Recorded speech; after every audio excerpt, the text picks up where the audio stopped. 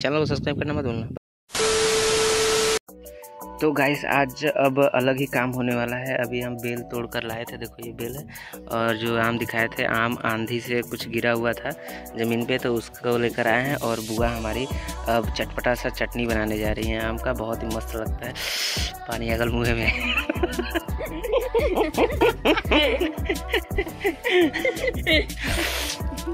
हाँ तो चटनी बनेगा, फिर उसके बाद खाएँगे। फिर उसके बाद चलेंगे घर। तो बुआ हमारी ये बुआ बुआ इधर देखो इधर।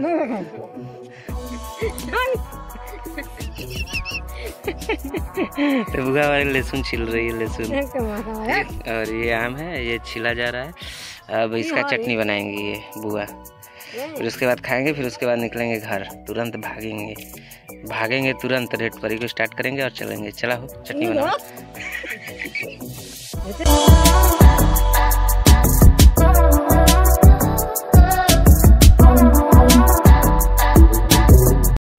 यही नहीं अभी और सुनिए। तो गाइस ये अपना सुपर यहाँ पे खड़ी है। ठीक है? और खेत में से रहर जो भी है, लाकर हम लोग खलिहान में रख दिए हैं दबाने के लिए। ट्रैक्टर ये रहा, ट्रैक्टर से दबाएगा जो कि आज कुछ ऐसा हुआ कि हम लोग सुबह के ही खेत पर आए हैं। इसको अच्छे से ढोड़ा के खेत में से ला कर रख दिए हैं। पर ट्रैक्टर वाला साला ग्लिच कर दिया, आया ही नहीं। और आया होता तो हम लोग कब का इसको दबा ववा के रहर निकाल के एकदम बढ़िया से खाली हो जाते काम से। पर होने वाला है शाम अभी, और ट्रैक्टर वाला अभी आया नहीं, और मैं सोच रहा हूँ अब घर जाने के लिए, और पापा तो बोल रहे हैं कि अभी रुके रहो कि शायद आ जाएँगे तो दवा ववा कर चलेंगे शाम को। पर मेरा मन कर रहा है, एक सुबह से आए हैं, पर मैं भागूँगा अब घर। ठीक है? तो ये रहा अपने साथ आज का ग्लीच, जो कि ट्रैक्टर खड़ा करके गया है। यहाँ पे कि आएँगे तो रहर को दावेगा, पर ट्रैक्टर का जो ड्राइवर है, वही नहीं आया है, ट्रैक्टर ही आकर क्या करेगा? ठीक है? हेलो गाइस तो हम लोग आए थे जंगल। आज शाम भी बहुत ज़्यादा था तो अभी ट्रैक्टर वाला आया नहीं। ट्रैक्टर का वेट करते करते शाम होने के नज़दीक में है। तो ऐसे ही बैठे थे तो आ गए हम लोग बेल तोड़ने तो बेल तोड़ेंगे और बनाएँगे इसका। तो चलो जल्दी से इसका बेल को तोड़ते हैं।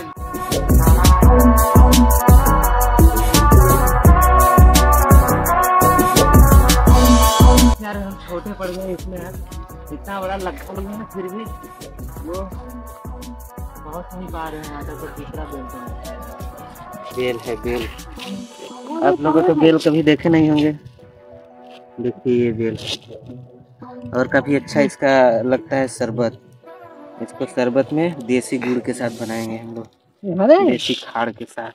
अभी और तोड़ने वाले हैं तो तोड़ते हैं फटाफट पाँच फट के। तो गाइस इतना सारा हमने बेल तोड़ लिया है। दो दो, चार, दो छः एक साथ बेल तोड़ लिया और उधर से, और ये सब वो हमारी लेकर चलेंगी अब। चलो सब उठाइए इसको। ज़्यादा तोड़ने का कोई फ़ायदा है नहीं, क्योंकि अब इतना बेल है तो काफ़ी कई दिन रस बन जाएगा हम लोग का। शरबत। चलो यार, हम जा रहे हैं अब। तो इधर आम का भी पेड़ है, हम लोग के जंगल पे, ठीक है, खेत पे। और आम भी आ चुका है छोटा छोटा भी छोटा छोटा है। ठीक है? देखो ये सब आम। अभी छोटा छोटा आम है। अभी जब बड़ा बड़ा होगा, तब मज़ा आएगा। तो फाइनली गाइस आम का चटनी खाकर बहुत ही मज़ा आया यार। एकदम चट्टा बना था, एकदम मज़ा ही आ गया। और ये रहा हमारा रेड परी सामने खड़ी हुई है, मस्त बिंदास। और क्या ही बताएँ, अभी हम इधर आ गए हैं। इधर देखो अरहर किसी और का गजा हुआ है। इधर पूरा खेती खेत है।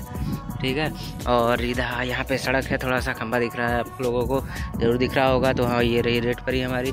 तो गाइस तो अभी हम निकलने वाले हैं घर, पर पापा भी सामने उधर वहाँ पर बैठे हुए हैं। सोच रहे हैं कैसे निकले यार, वो उनको बिना बताए हुए भागने वाले थे जैसे। क्या बोलते हैं वो, कौन सा डला का पता नहीं, याद नहीं आ रहा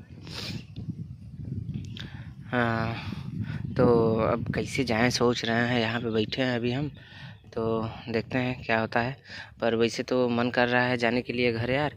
कहीं अपना पूरी बारात का प्रोग्राम था तो निकल जाते अभी तो तैयार वार होकर अच्छे से अपन जाते हैं वहाँ पर पर अभी क्या करना है? अभी सोच रहे हैं कि अभी ट्रैक्टर वाला आएगा तो उसको दावेगा, फिर बहुत ताम झाम इस यार क्या ही बताएँ मतलब घूमना भी दुशवार है। तो अभी चलो मिलते हैं नेक्स्ट ब्लॉग में। घर पे चले जाएँगे तो ठीक है, कोई बात नहीं, अगर नहीं जाएँगे तो फिर अपना काम ख़त्म करके जाएँगे, पर घर पे जाना तो है ही।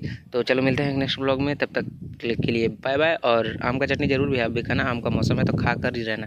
ठीक है, चलो मिलते हैं अगले ब्लॉग में। तब तक के लिए बाय बाय। टाटा। चैनल को सब्सक्राइब करना मत भूलना। Bye bye.